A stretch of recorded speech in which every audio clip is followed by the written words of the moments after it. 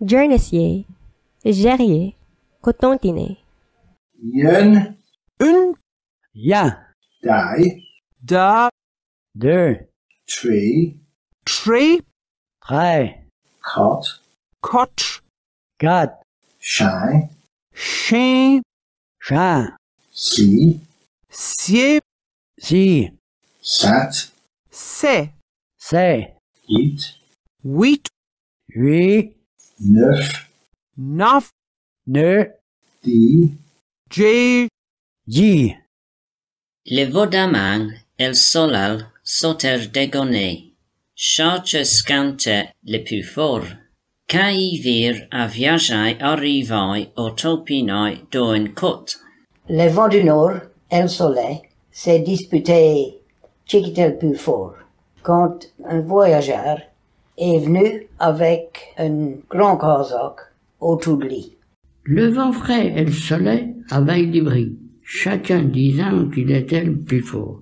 Quand il vit un homme à pied qu'arrivait à nicher dans son manteau.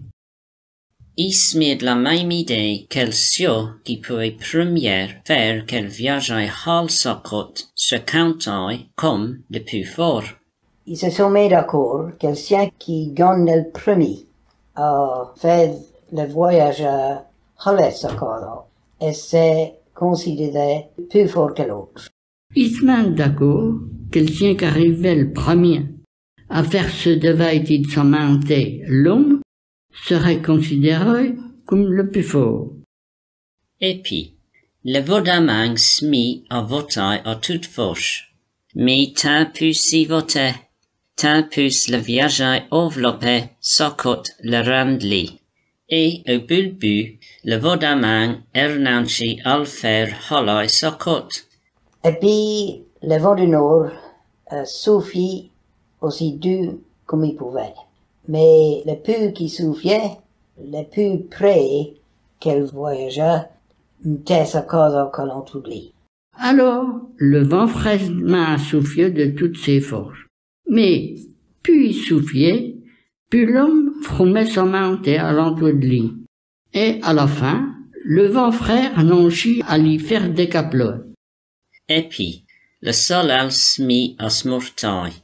Et à l'air, le viageai recalfai holly socot. Et comme chena, il fut métier qu'elle vodamang er connaisse que stel soleil qu'est le plus fort des dailles. À la fin, le vent du nord abandonné. Et puis le soleil se déhalit avec sa chaleur.